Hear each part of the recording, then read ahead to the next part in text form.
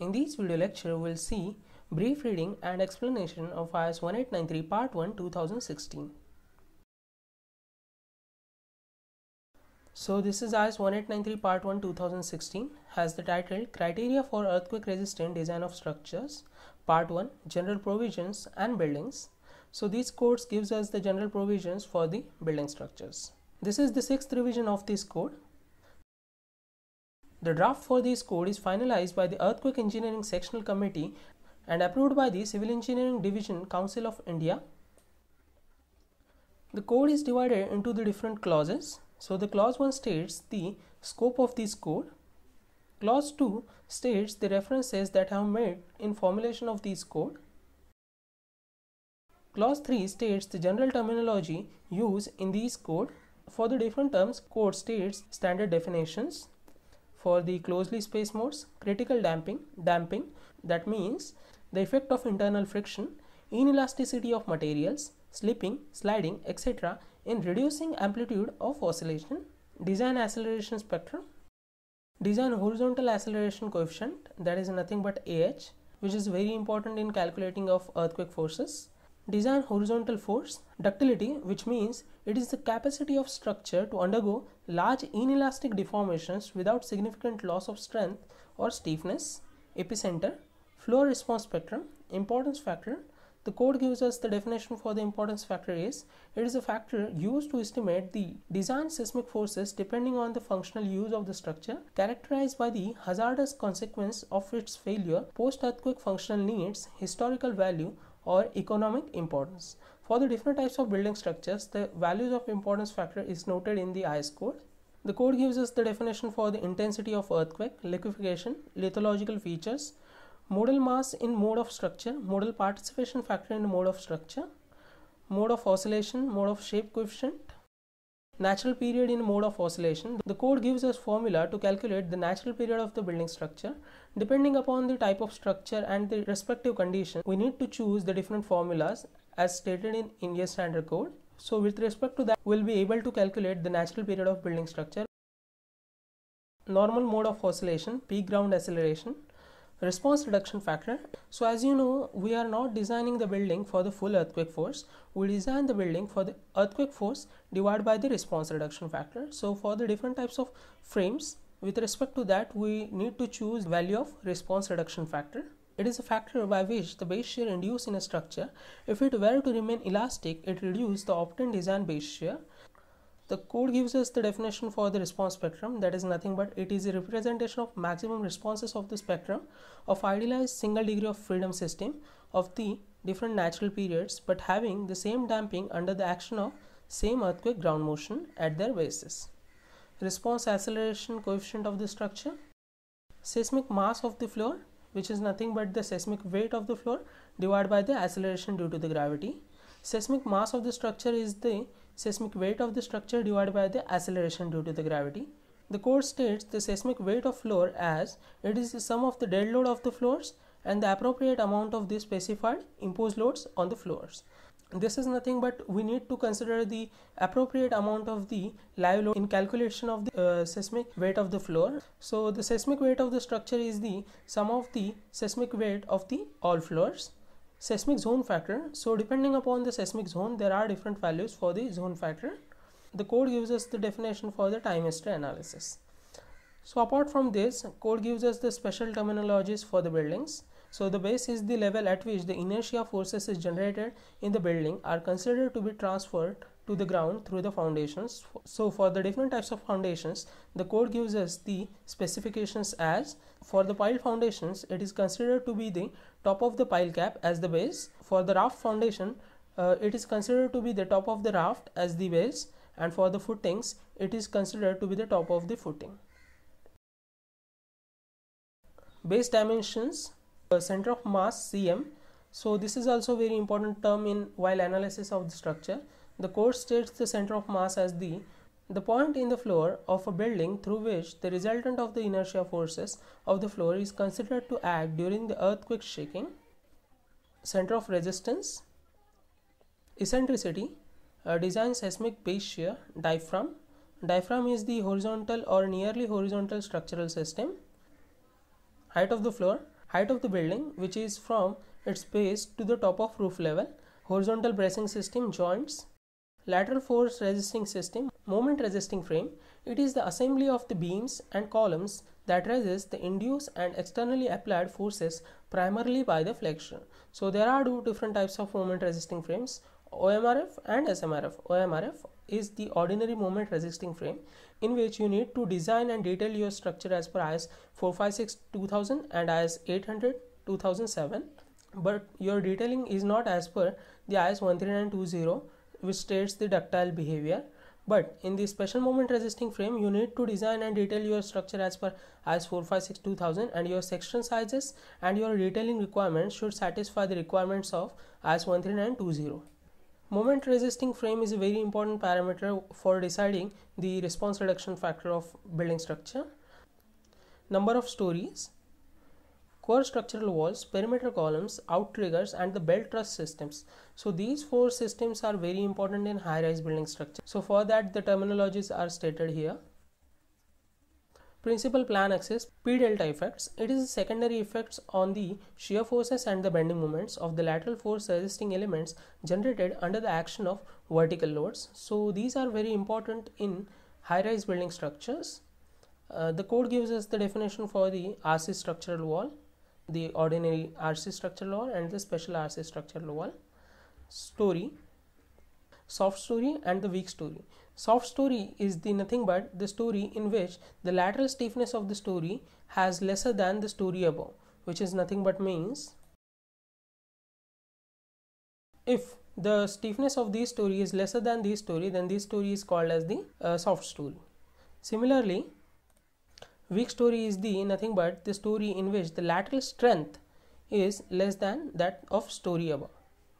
So uh, code gives us the definition for the story drift is the relative displacement between the floors above or below. So that it means if the earthquake forces are taken into consideration from these direction, the deformation of the building structure in these direction, uh, displacement in these direction, assume that 10 mm and the displacement for this floor is 4 mm. So the 10 minus 4 nothing but 6. So the 6 mm is the story drift for this floor. Story shear means it is the sum of the design lateral forces at all levels above the story under the consideration. The clause 5 states the symbols which are used in this code. So the list of symbols is stated in clause 5. Clause 6 states the general principles and the design criteria.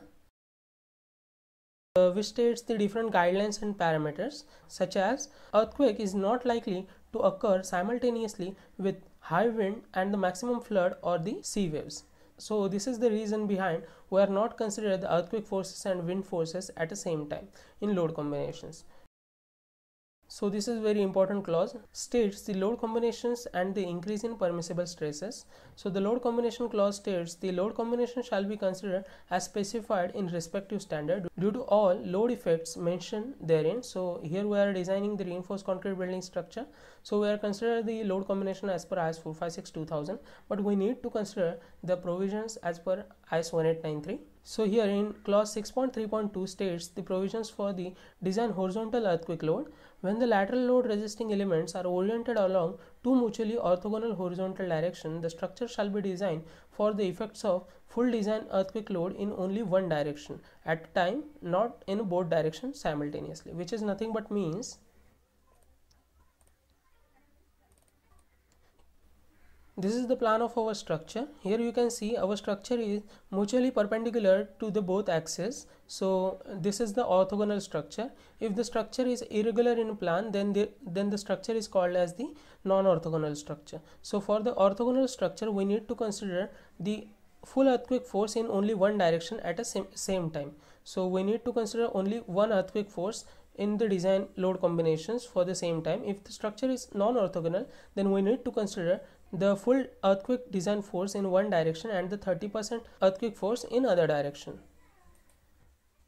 Here you can see the uh, codal provision states that when the lateral load resisting elements are not oriented along the two mutually orthogonal horizontal axes that is nothing but for the non-orthogonal structure structure shall be designed for the simultaneously effect due to the full design earthquake force which is nothing but we need to take the full design earthquake force and the 30% of the design earthquake load along the other horizontal direction and the, for the other horizontal direction we need to consider the 30% load in the load combination. So these are the load combinations for the non-orthogonal building structures. If the building structure is the orthogonal then we do not need to consider the 30% of the load in other direction. The code gives us the specifications for the design vertical earthquake effects. If the structure is located in seismic zone 4 and 5 or the structure has the vertical or plan irregularities or structure is rested in soft soil for the bridges and for the structures having the long span and the, for the structure has the large horizontal overhangs of the structural members or the subsystems. We need to consider the vertical earthquake effects. So for that we need to define the vertical earthquake forces. That is here you can see ELZ so for that we need to consider 30% of uh, earthquake load in a vertical direction in each load combination. In addition to that, increase in net pressure on soils in design foundations are be noted in the table 1. So here you can see table 1 percentage of increase in net bearing pressure and the skin friction of the soil for the rocky soil and the medium soil 50% and 25% of the net bearing pressure on the soil is can be allowable to increase. Uh, for the soft soil, it is not allowed to increase the net pressure on the soils. Clause 6.4 Design Acceleration Spectrum states the formula for the design horizontal seismic coefficient that is nothing but AH has the formula Z by 2 into SA by G upon R by I where the Z is the seismic zone factor which depends on the seismic zone.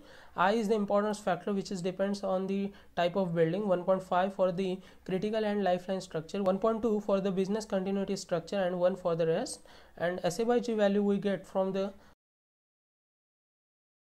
spectrum curves. For the static analysis there is a different curve and for the dynamic analysis by the response spectrum method there is a different curve. So here it is the major change in this revision of 2016 in previous revision there is only one curve for the static and response spectrum method. Uh, so here in the dynamic analysis for the response spectrum method for the structure having the low time period with respect to that there are the uh, low SA by G values taken into the consideration with respect to the type of analysis we need to calculate the value of SA by G with respect to the site type so apart from that figures, we can also find the values of SA by G from these formulas. Uh, for the equivalent static analysis, these formulas are made and for the response spectrum method, these formulas are to be followed to calculate the SA by G value. For example, for the rocky soils, the structure having the time period 0 to 0.4 seconds, uh, we need to consider the SA by G value as uh, 2.5 for the structure on the rocky soil having the time period uh, 0.4 second to 4 second uh, SA by G value is the 1 upon T. And for the structure which is located on a rocky soil having the time period uh, more than 4 second uh, we need to consider the SA by G value as 0.25. So with respect to the different type of soil and the uh, respective time period of the structure, we need to consider the SA by G value from this formula or otherwise you can also take the SA by G value from these figures.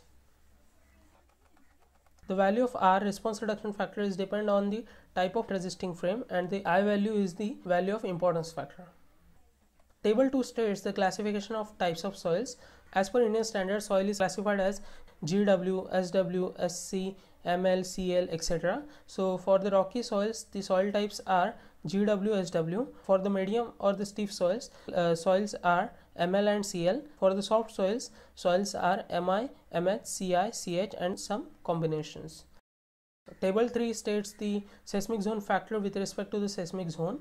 Uh, the code gives us the two different analysis methods such as equivalent static analysis and dynamic analysis whereas dynamic analysis is can be done by the three methods response spectrum method modal time history method and the time history method. In this code uh, for the dynamic analysis uh, response spectrum method and the time history method is stated and for static analysis equivalent static analysis method is stated so this is the seismic zone map of India. Shows the whole country divided into the four seismic zone where the seismic zone 2 is the zone having the least seismic hazard and the seismic zone 5 is the most severe seismic zone. Table 4 states the different types of soils with respect to the site type. So here you can see uh, the moment of inertia uh, need to be considered for the different structural section. In reinforced concrete and masonry structures, uh, we need to consider 70% of IG for the columns and 35% of IG for the beams and for the steel structure we need to consider gross moment of inertia for the beams and columns. So here are some codal provisions for the uh, consideration of the vertical earthquake effects. So for the different types of building structures, we need to consider the value of AV which has the different formulas uh, that is multiplication of 2 by 3 into AH but in which that AH the SA by G value for the building structures and liquid retaining structure is taken as 2.5. Clause 7 is buildings in which 7.1 states the definition for the regular and the irregular building configurations. So the table 5 also states the definition for the irregular buildings, uh, plan irregularities. So the first thing is the torsional irregularity. After analysis we need to check our structure for the torsional irregularity. So in which the condition is the maximum horizontal displacement of any floor in the direction of lateral force at one end of the floor is more than 1.5 times its minimum horizontal displacement at far the end of the same floor in that direction which means here you can see this is the building uh, structural plan. So here you can see uh, because of the earthquake forces the building is displaced likewise this. So here you can see the displacement is delta minimum and here you can see the uh, displacement is delta maximum. If the delta maximum is greater than 1.5 times of delta minimum then our building structure is torsionally irregular. So we need to check our structure for the torsional irregularity. So these figures states the reentrant corners. So this is the plus type building and the L-shaped building having the reentrant corners here and here here Table 6 uh, states the definition for the irregular buildings, vertical irregularities, where the stiffness irregularity that is nothing but the soft story. If the structure has the mass irregularity, then we need to use the dynamic analysis method for the analysis. Vertical geometrical irregularity in plane discontinuity in vertical elements of the lateral force, strength irregularity, floating or stub column, such columns are likely to cause concentrated damage in the structure. This feature is undesirable and hence should be prohibited. It is part of the supporting the primary lateral loads of the resisting system. Irregular mode of oscillation in two principal plant directions. So these figure states the vertical geometrical irregularity. So these types of structures are very dangerous in high seismic zones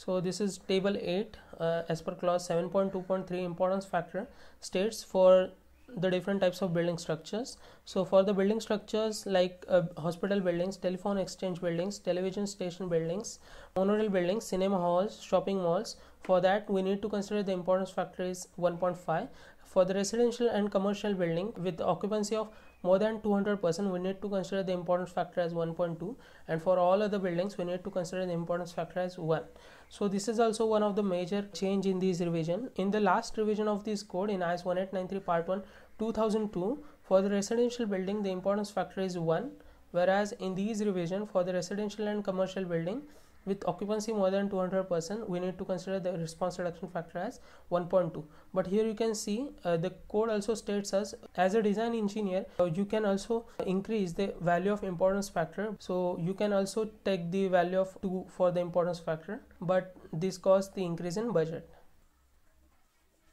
so table 9 states the response reduction factor of the building so with respect to the type of frame, uh, response reduction factor is given in this table. So for the reinforced concrete building structures, uh, ordinary moment resisting frame, the response reduction factor is 3. That is nothing but means in the analysis if we consider these frame, then the earthquake force that is considered in design is earthquake force divided by 3. For the reinforced building structure uh, with special moment resisting frame, we need to consider response reduction factor as 5 but here you can see in uh, reinforced concrete building structures for the ordinary moment resisting frame we need to consider the note 1 that is states RC and steel structures in seismic zone 3 4 5 shall be designed to be ductile and hence the system is not allowed in these seismic zones. So this is the reason uh, why we are taking the our structure as the SMRF special moment resisting frame because our structure is located in Mumbai which is in a seismic zone 3 so that we are not satisfied these provision. Hence we are consider the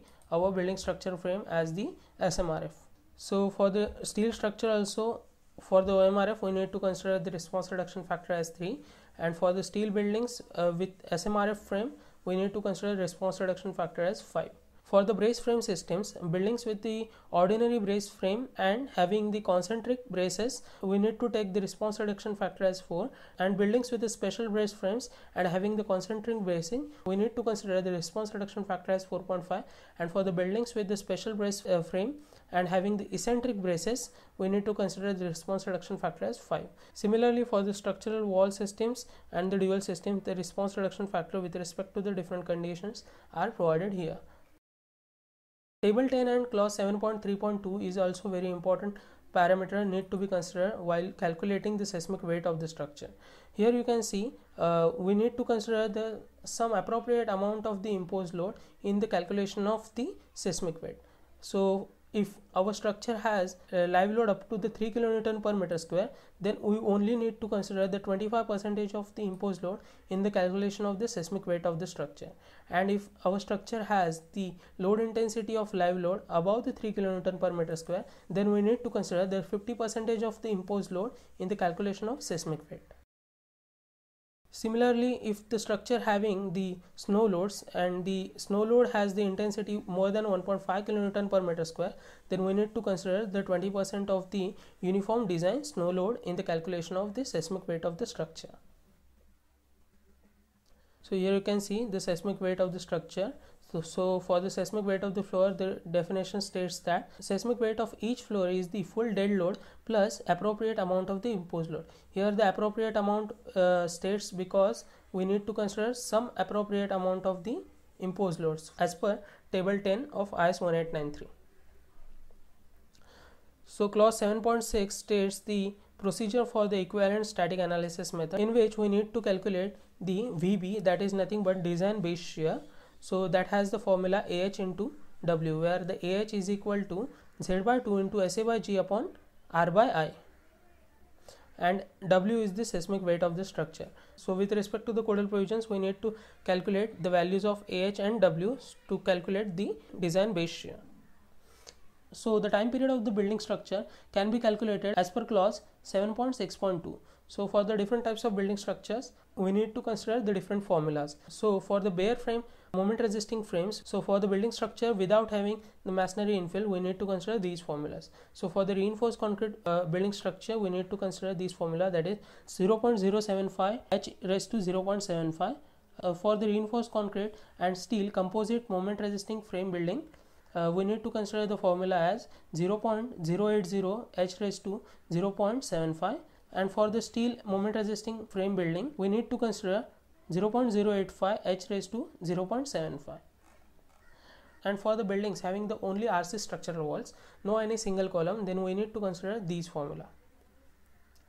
And for all other buildings having the masonry infill walls we need to consider these formula to calculate the natural period of building structure so this figure states the height of the structure. So for this type of structure we need to consider the height of structure from its base to top. So the structure having the structural walls at the base we need to consider the height of structure from above the structural wall to the the top of the structure. So similarly for the different types of structure we need to consider the different height of the structure in the seismic analysis calculations the code has given us the definition for the diaphragm and the guidelines and provisions for the diaphragm. Clause 7.7 states the procedure for the dynamic analysis. Clause 7.7.1 states about linear dynamic analysis. Linear dynamic analysis shall be performed to obtain the design lateral force for buildings other than regular buildings lower than 15 meter in seismic zone 2. So very important condition in, in dynamic analysis that is IS code states that when the design base shear VB estimated shall not be less the design base shear VB calculated using the fundamental period TA. So that we need to scale our dynamic analysis base shear with respect to the static analysis base shear. So here the code gives us the definition for the time history analysis and the response spectrum method and here also you can see as per clause 7.7.5.2 code gives us the uh, guidelines and the provisions for the number of modes to be considered in the dynamic analysis. So up to the 90% of modal mass participation we need to consider the modes. And we should also take into the consideration that the modes are beyond the 33 hertz Clause 7.7.5.3 states the combination modes. So, so, there are different types of combination modes such as CQC, complete quadratic combination and the SRSS that is uh, sum of root of sum of squares. It depends on user to, uh, to choose CQC or SRSS. Clause 7.8 states the guidelines for the torsion. So, we need to consider the torsion for the 0.05 eccentricity as per Indian standard. So, clause 7.9 states the RC frame buildings with unreinforced masonry infill walls. So, if if your structure having the masonry infill walls, then you need to consider these uh, guidelines to calculate the uh, modulus of elasticity and the other things for the analysis purpose. Clause 7.11 states about deformation. So here it is one of uh, important check that we need to be followed that is the story drift limitation. So for each story the story drift shall not exceed uh, 0.04 times the story height for the uh, service load combinations. So these are the guidelines and provisions for the foundations, cantilever projections for the vertical projections and horizontal projections, compound walls and here the codal provisions as per IS 1893 ends. And from here you can see the annex 1 annex 1 shows the map of India showing the epicenter of the past earthquakes in which uh, the past earthquakes which are happened in India are shown. With respect to the size of bubble here you can see the magnitude of the earthquake Annex B shows the map of India showing the principal tectonic features. So here you can see principal tectonic features of India. It's showing on the map of India. Annex C shows the principal lithological groups of different types of soils such as alluvial, laterite, sedimentary rocks, etc. And Annex D states uh, MSK 1964 intensity scale which is divided in 12 where the first is the not noticeable and the last one twelfth is the landscape changes. Annex e states the some of the important towns uh, having the population more than 3 lakhs with respect to their zone and zone factor. So for the important cities uh, the zone and zone factors are noted here. Annex f is the simplified procedure for the evaluation of liquefaction potential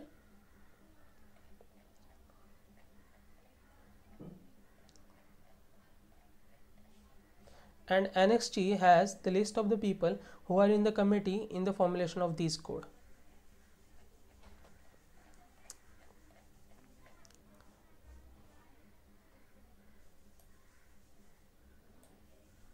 So here it is the brief reading and the explanation of IS 1893 part 1 2016.